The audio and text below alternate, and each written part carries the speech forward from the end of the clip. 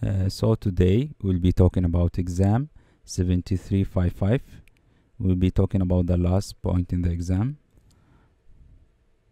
In this point we will be talking about developing code that is maintainable and that support app versioning compatibility and coexistence.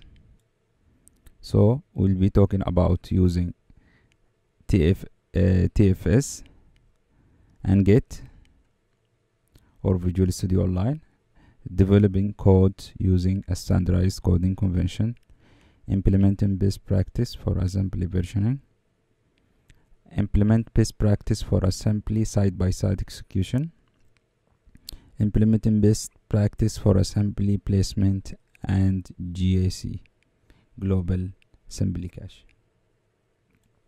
Some of the coding standards and naming convention is Pascal case, the first letter and the fir uh, first identifier and letter of sequence word are capitalized. So the first capital is, is the first word or first the first alphabet is usually it is usually alphabet it is capitalized the camel case the first one is small uppercase all of this uh, all of them is uh, capitalized one of the examples of develop, uh, develop code using version control and standard coding conventions is TF, uh, TFS check-in policy. It can also be applied to Visual Studio Online. Check-in uh, check-in policy enforce constraints every time when files are checked into source control. Team Foundation Server provide a number of out-of-box check-in policies, including uh, policies that check that static code analytics has been performed and uh, policies that checked uh, that work item are associated with check-in. So if we take this only this part, the static code analytics is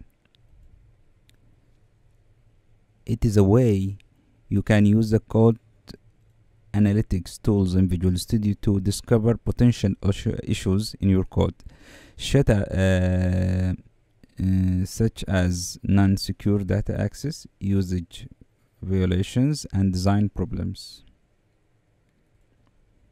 So, uh, code analytics for managed code. For manage code, uh, manage assembly reports information to the ASCHAT as well as programming design rules. Uh, so we have IDE integration, it's a Visual Studio integration. So you can run it uh, code in your project automatically or manually. We have something called rule sets, uh, and we have something called in source uh, suppression. So you can suppress suppress it like this one and while writing this code. So it will not return that code. Uh, run code analytics as a part of check-in policy that's what we want. So when you check in if it's not valid it will not check in. We have a team build. It's the same thing i think it's all near near to it. Uh, this a nice article old one 2010 uh, talk about five things you should be doing in your code but uh, probably aren't. It's talking about some of the rules. One of the rules that it can be done by code analytics is avoid and use private fields. Maybe and this one I, I yes and this we have um, uh, for example validation argument for public methods uh, he's saying that I'm surprised how often I see that plain and simple, strain from MSDN or reference arguments that are passed to externally visible method should be checked against nulls. So if you didn't do that, the Visual Studio or the uh, the code analytics will warn you. So you like this one, if you didn't check for this one, it will warn you. Uh, uh, another one of the interesting one is the uh, uh, CA 1709. It's a rule, one of the rules. It's in the naming. Identifier should be case correctly.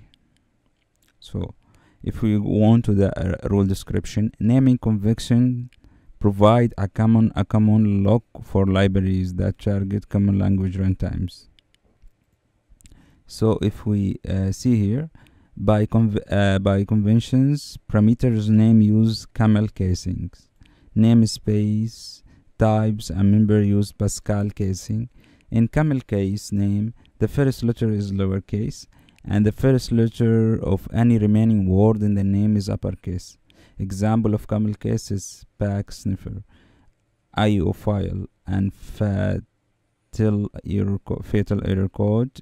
In the Pascal case name, the first letter is uppercase, and the first letter is only remaining word name is uppercase. For example, is IO files.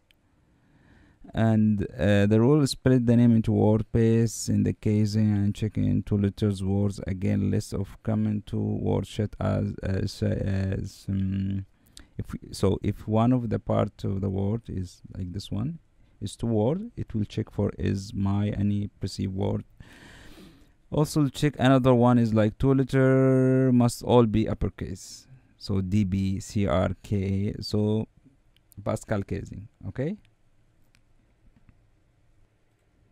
and this is an interesting article on Visual Studio Online check-in policies. It's the link. CodePen Visual Studio Online policies. Google it, will find it. It's a new one.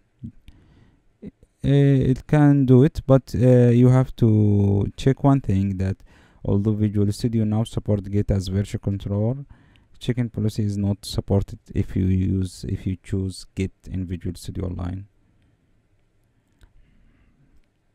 and that's that these the um, steps you can take it like this one also you have to check uh, if you check this uh, video is very interesting also.